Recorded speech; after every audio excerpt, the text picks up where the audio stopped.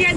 刹那之间，你付出了这么一点心力，以后历史会记住你们。凡是走过必留足迹，在不久的将来，在立法院的一战，我们也希望所有的我们以外的兄弟姐妹们，我们自己留下一片自己最后的台湾净土。加强现场的收证，一样的麦克风以及画面，让所有的人知道，现在台湾正处于水深火热之中最后我们希望我们希望所有有良知的台湾人